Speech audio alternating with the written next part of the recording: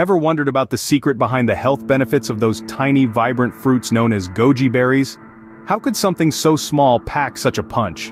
Well, it turns out that goji berries are a powerhouse of nutrients, and they might just have a significant role in regulating blood glucose levels. First on the list is the antioxidant power of plant polyphenols.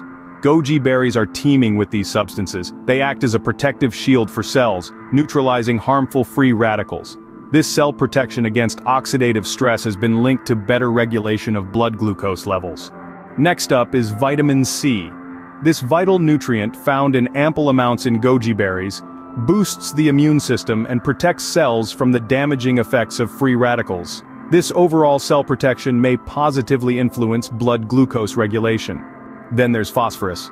This essential mineral also found in goji berries supports healthy metabolism function, and as we know a well-functioning metabolism can lead to better control over blood sugar levels. Fiber, another component of goji berries, aids in the digestion and absorption of sugars. This helps maintain stable blood glucose levels, while also supporting overall gastrointestinal health.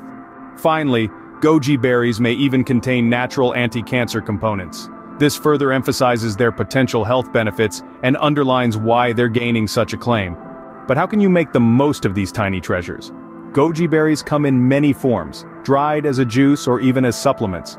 You can sprinkle them on your cereal, blend them into smoothies or use them to add a healthful twist to your desserts.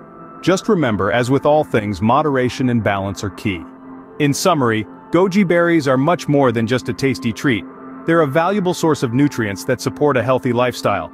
Their potential role in blood glucose regulation makes them a particularly intriguing choice for those mindful of their metabolic health.